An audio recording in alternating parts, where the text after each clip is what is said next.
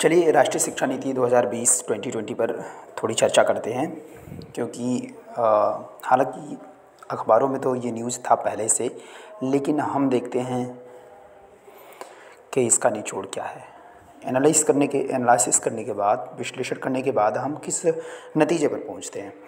हाल ही में, मोदी जी ने ये जो शिक्षा नीति लाई है उसमें कहीं ना कहीं शिक्षा पर व्यापक चर्चा आरंभ हो गई है और शिक्षा के संबंध में गांधी जी का एक तात्पर्य आप लोगों ने जो भी शिक्षा से जुड़े हुए हैं, वो जानते हैं। बालक और मनुष्य के मन, शरीर और आत्मा का विकास करना।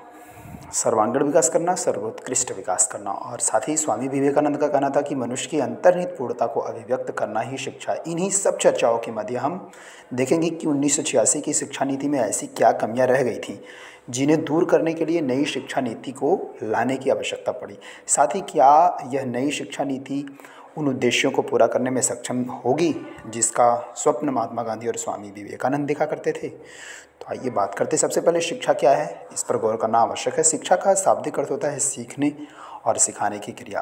परंतु अगर इसके व्यापक अर्थ को देखें तो शिक्षा किसी भी समाज में निरंतर चलने वाली सामाजिक प्रक्रिया है, जिसका कोई उद्देश्य होता है और जिससे मनुष्य की आंतरिक शक्तियों का विकास और व्यवहार को परिष्कृत किया जाता है।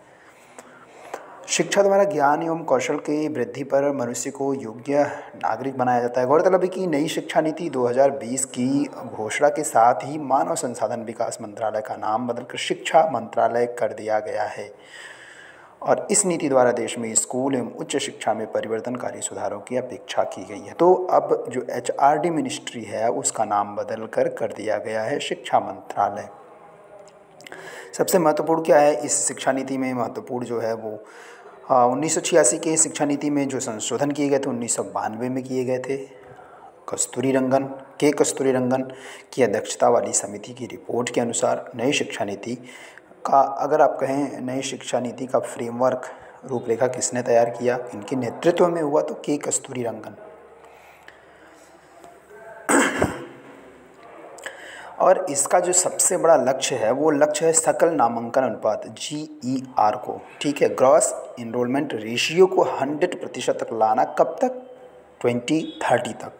ट्वेंटी ट्वेंटी से लेकर ट्वेंटी थर्टी तक hundred percent G E R लाने की व्यवस्था इस योजना के अंतर्गत या इस नीति के अंतर्गत की गई है। नई शिक्षा नीति में केंद्र व सरकार के सहयोग से शिक्षा क्षेत्र पर जीडीपी के छः प्रतिशत हिस्से के सार्वजनिक व्यय का लक्ष्य रखा गया है। यानी कि सकल जीडीपी के सिक्स प्रतिशत शिक्षा पर ही खर्च होगा। नई शिक्षा नीति के जो मुख्य बिंदु हैं, वो है five plus three plus three plus four इस फ्रेमवर्क को आपको याद रखना होगा कि five plus three plus three plus four है क्या। तो ये five plus three plus three plus four जो है, तीन से अट्ठारह वर्ष की आयु के बच्चों को अपने अंदर सम्मिलित करता है। पहला फाइव जो ईयर है, उसे हम कहते हैं फंडामेंटल स्टेज यानी इसमें फाउंडेशन फाउंडेशन बनेगी कि बच्चे का जो एडमिशन है प्री प्राइमरी और class one two standard one और टू को इसके अंतर्गत सम्मिलित किया गया है। यानी कि तीन वर्ष की आयु में बच्चे का एडमिशन हो जाएगा और वो क्लास वन टू तक पहुँच जाएगा। यानी कि प्लेवे और एल के जी यू के जी के बाद फ़र्स्ट एंड सेकंड स्टैंडर्ड में वो पहुँच जाएगा। ये हो गया पहले फाइव का डेफिनेशन पहले फाइव का व्याख्या। कि जो फाइव है ना, उस फाइव का मतलब हो गया कि प्री प्राइमरी के तीन साल प्ले वे नर्सरी बोलते हैं जिसको एल के जी यू के जी जो आजकल का चल रहा है। तो इसमें फाइव में ये सम्मिलित किया गया है। प्री प्राइमरी के तीन साल और दो साल टू ईयर वो बच्चे का first and second standard then आता है फाइव प्लस थ्री थ्री ये थ्री क्या है? अगला थ्री जो है टी क्लास सेकंड से लेके क्लास फिफ्थ तक पहुँच जाएगा बच्चा। यानी कि जो प्राइमरी का लेवल है, वो निकल जाएगा उसका। उसको कौन सी स्टेज दिया गया preparatory stage preparatory stage जी हाँ फंडामेंटल स्टेज प्लस फाइव के लिए कहा गया है और प्लस थ्री के लिए कहा गया है प्री पेट्रीज स्टेज जो कि फिफ्थ क्लास तक के लिए बच्चा पढ़ाई कर चुका होगा। और उसके बाद का तीन तीन ईयर आपको पता है क्लास सिक्स सेवन और एर्थ के लिए है। जिसे हम मध्य स्टेज कहते हैं, मिडिल स्टेज कहेंगे एंड हायर स्टेज हो जाएगा फोर ईयर का, जो कि नाइन टेंथ इलेवेंथ और ट्वेल्थ के लिए होगा। तो ये था आपका N E P twenty twenty के बारे में। ठीक है? बुनियादी साक्षरता और संख्यात्मक ज्ञान पर एक राष्ट्रीय मिशन है। इसका नाम दिया गया N M F L N की स्थापना का प्रस्तावित किया गया। इसके द्वारा वर्ष 2025 तक कक्षा तीन स्तर के बच्चों के लिए आधारभूत कौशल सुनिश्चित किया जाएगा।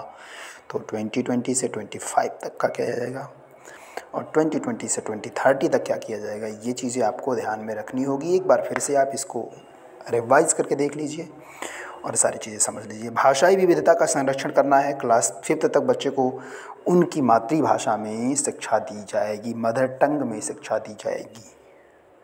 मातृभाषा, स्थानीय भाषा या क्षेत्रीय भाषा को अध्ययन के माध्यम से अपनाया जाएगा, जो कि गांधी जी का सपना भी हुआ करता था। कक्षा आठवीं के आगे बच्चे को विकल्प दिए जाएँगे, ढेर सारे ऑप्शन दिए जाएँगे। वो आर्थिक नॉलेज व्यावसायिक नॉलेज ठीक है डिजिटल नॉलेज ले सकता है, क्षेत्र बदल सकता है। ऐसा नहीं कि पिछले पिछले नियमों की तरह high school science arts, commerce ही बस दो तीन विकल्प मिलते थे तो इन विकल्पों पे विचार किया गया और इन विकल्पों को बढ़ाया गया है। साइंस, आर्ट्स और कॉमर्स के अतिरिक्त भी अन्य चीज़ें हैं, जो कक्षा आठ के बाद ही बच्चों को विकल्प के तौर पर सामने रखा जाएगा। शारीरिक शिक्षा पर ध्यान देना है, स्कूल खेल कूद योग, नृत्य, मार्शल आर्ट जैसी बातों पर भी ध्यान देना है। शारीरिक शिक्षा में नई चीज़ें जुड़ी हुई हैं। ये पाठ्यक्रम और के मूल्यांकन की अगर बात करें तो पाठ्यक्रम का मूल्यांकन कैसे होगा? कक्षा छः तक की शैक्षिक पाठ्यक्रम में व्यावसायिक शिक्षा को शामिल कर दिया गया और इससे इंटर्नशिप की व्यवस्था इसी में कर दी गई। कक्षा छः में ही शैक्षिक पाठ्यक्रम में ही व्यावसायिक शिक्षा होगी और इंटर्नशिप का काम वहीं पर कर दिया जाएगा। कक्षा छः में ही राष्ट्रीय शैक्षिक अनुसंधान एवं प्रशिक्षण परिषद, यानी कि एनसीईआरटी द्वारा स्कूली शिक्षा के लिए राष्ट्रीय पाठ्यक्रम रूपरेखा एनसीएफ तैयार की जाएगी। ठीक है। क्लास टेंथ और ट्वेल्थ की परीक्षाओं में बदलाव किया जाएगा, जिसमें भविष्य के सेमेस्टर या बहुविकल्पीय प्रश्न आदि जैसे सुधारों को शामिल किया जा सकता है। वहाँ पे भी सेमेस्टर प्रणाली लाई जा सकती है क्लास टेंथ और क्लास ट्वेल्थ के लिए। परख नाम का एक संस्था बनेगा, जो राष्ट्रीय आकलन केंद्र, नेशनल असेसमेंट सेंटर की स्थापना की जाएगी। और छात्रों की प्रगति के मूल्यांकन तथा छात्रों को उनके भविष्य से जुड़े निर्णय लेने में सहायता प्रदान करने के लिए कृत्रिम बुद्धिमत्ता आर्टिफिशियल इंटेलिजेंस ए आई ए आई का बहुत ही चर्चा चल रही है। तो ए आई को भी इसमें सम्मिलित किया जाएगा। इस पर आधारित सॉफ्टवेयर होंगे और इन सॉफ्टवेयरों के थ्रू मूल्यांकन किया जाएगा। शिक्षकों की नियुक्ति में प्रभावी और पारदर्शी प्रक्रिया का पालन तथा समय समय पर किए गए कार्य प्रदर्शन आकलन के आधार पर पदोन्नति यानी शिक्षकों का जो भी होगा पारदर्शी प्रक्रिया से भर्तियाँ होंगी और इन भर्तियों के बाद अगर ये कार्य कर रहे हैं तो इनके कार्यों का प्रदर्शन का एक आकलन, एक असेसमेंट होगा और उस असेसमेंट के अनुसार उनको पदोन्नति दी जाएगी। 2022 तक शिक्षकों के लिए राष्ट्रीय व्यावसायिक मानक NPST का विकास किया जाएगा। 2022 तक शिक्षकों के लिए राष्ट्रीय व्यावसायिक मानक का विकास। एन के पाठ्यक्रम के आधार पर अध्यापक शिक्षा हेतु राष्ट्रीय पाठ्यचर्या की रूपरेखा एन ई का विकास किया जाएगा और 2030 तक अध्यापन के लिए न्यूनतम डिग्री योग्यता चतुर्थ वर्षीय एकीकृत बीएड डिग्री का होना अनिवार्य किया जाएगा। चार वर्षीय का जो एकीकृत बीएड की डिग्री होगी, उसको अनिवार्य किया जाएगा शिक्षक बनने के लिए तो शिक्षक शिक्षण में भी सुधार किया जाएगा। अन्य प्राविधानों को देख लीजिए आप। एम फिल कार्यक्रम को समाप्त कर दिया गया नई शिक्षा के तहत। एम फिल नाम का कोई कार्यक्रम नहीं होगा। एकेडमिक बैंक ऑफ़ क्रेडिट दिया जाएगा ताकि अलग अलग संस्थाओं में छात्रों के प्रदर्शन के आधार पर उन्हें डिग्री प्रदान की जा सके। डिजिटल रूप से सुरक्षित रखने के लिए एक एकेडमिक बैंक ऑफ़ क्रेडिट दिया जाएगा शैक्षिक संस्थान, उच्च शिक्षण संस्थानों को। राष्ट्रीय उच्च शिक्षा आयोग की स्थापना की भी बात चल रही है। ये क्या होगा? यह एक शिक्षा सहित उच्च शिक्षा क्षेत्र के लिए एक नियामक का कार्य करेगा। मतलब कि प्राइमरी से लेकर हायर तक एनसीईआरसी के नाम से जाना जाएगा। सामान्य शिक्षा परिषद, राष्ट्रीय प्रत्यायन परिषद एन और राष्ट्रीय शिक्षा, उच्चतर शिक्षा अनुदान परिषद हायर एजुकेशन ग्रांट काउंसिल यह निकाय कॉलेजों एवं विश्वविद्यालयों के लिए वित्त पोषण का कार्य अब करेगी। तो गौरतलब है कि वर्तमान में उच्च शिक्षा निकायों का विनिमय यूजीसी करती है, अखिल भारतीय परिषद करती है और राष्ट्रीय अध्यापक शिक्षा परिषद निकायों के माध्यम से किया जाता है। लेकिन देश में आई आईटी और आईआईएम के समकक्ष वैश्विक मानकों के बहु विषय शिक्षा एवं अनुसंधान विश्वविद्यालय multi multidisciplinary education and research universities MERU की स्थापना की जाएगी। मेरू क्या है? आईआईटी और आईआईएम के समकक्ष वैश्विक मानकों के बहुविषय शिक्षा एवं अनुसंधान विश्वविद्यालय। विकलांग बच्चों के लिए भी अलग से प्राविधान है। डिजिटल शिक्षा से संबंधित भी प्राविधान है। राष्ट्रीय शैक्षिक प्रौद्योगिकी मंच की स्थापना की जाएगी, जो फोरम होगा। इस फोरम के थ्रू हम शिक्षण मूल्यांकन योजना प्रशासन जैसी क्रियाओं को करेंगे।